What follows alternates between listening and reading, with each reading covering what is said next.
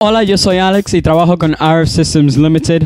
Hoy les voy a enseñar cómo hacer un indicador RF para poder probar sus transmisores FM. Para hacer esto vas a necesitar un LED, dos condensadores de disco cerámico, uno debe ser de 1.8 picofarads etiquetado 1.8 y el otro de un nanofarad etiquetado 102 y dos diodos de señal llamados 1N4148 etiquetado 4148.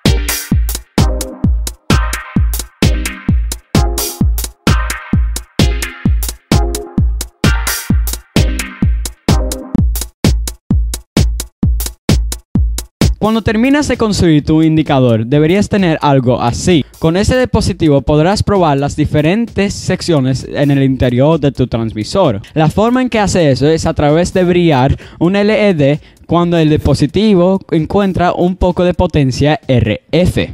Si ocurre eso, significa que esa parte del transmisor funciona bien.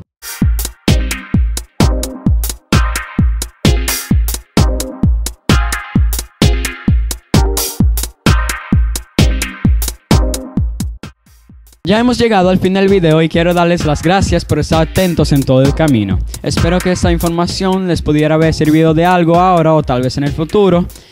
Y sigue dando like y subscribe a nuestro canal de YouTube y página de Facebook. Gracias y bye.